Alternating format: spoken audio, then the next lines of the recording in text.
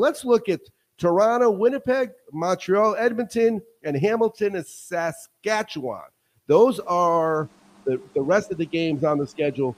So there's Thursday, Friday, and then Saturday. Those are two games that we would be talking about exclusively on to be determined, right? Uh, yeah, it, would be what we're talking on to be determined. And you know, there, there's there's some pieces there, you know, that that are going to create a couple wrinkles in the data. But you know, in in the CFL, they have the twofer. They play in in uh, many occasions. They play the same team two weeks in a row. So we got Toronto and Winnipeg tomorrow, and they're going to play each other again the following week. So it's in Winnipeg, but then the following week it goes to Toronto. Um, I, in that scenario, I mean Winnipeg is clearly the better team, uh, but where the spread goes uh, from week to week, uh, that'll be a very interesting one to see. And the other one, this Winnipeg last week uh, against Hamilton, I think that that you're probably going to see some lowered uh, game totals in both the Hamilton game this week and in the Winnipeg game because that was a 19 to 6 game. And Winnipeg and Hamilton, if they weren't playing together, they're each putting 30 points on the board. So, uh, you know, looking at, uh, again, I said I like Calgary. Looking at tomorrow, um, Winnipeg for sure.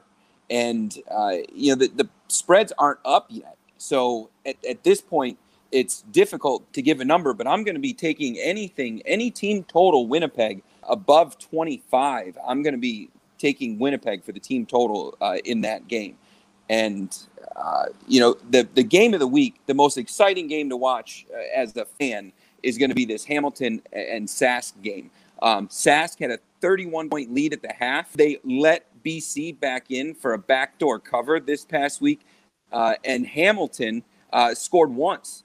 Hamilton doesn't have games where they only score uh, one touchdown. And, and this is going to be an angry team because they are coming off of a Grey Cup loss to Winnipeg, then an, an opener two years later to Winnipeg where they only scored one touchdown and didn't get the PAT. And now they're playing against Sask.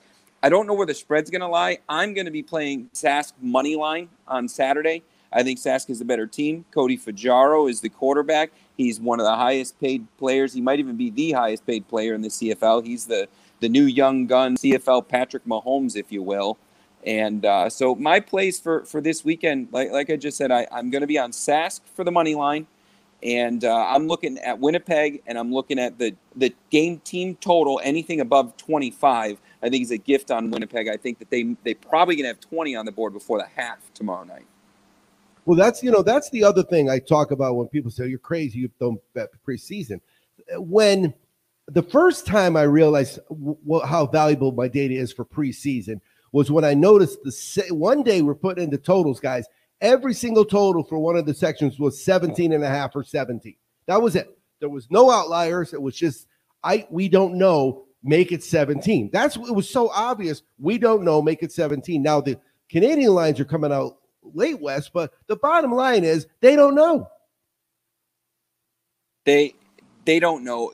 They're gonna. They're gonna. They weren't last week. We saw all dogs. We saw all dogs, and two of those dog covers were dog win. Yeah, they they don't know. Um, I'm interested to see where this Winnipeg and Toronto line goes because Winnipeg just beat Hamilton 19 to six.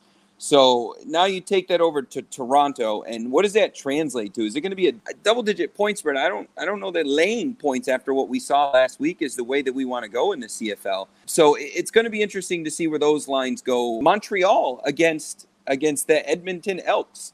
Um, you know, Edmonton didn't look very good this past week. Montreal hasn't played. So the first so, game. That's the first game Saturday, and so yep, because there's nine teams and they play four games Montreal had that first bye.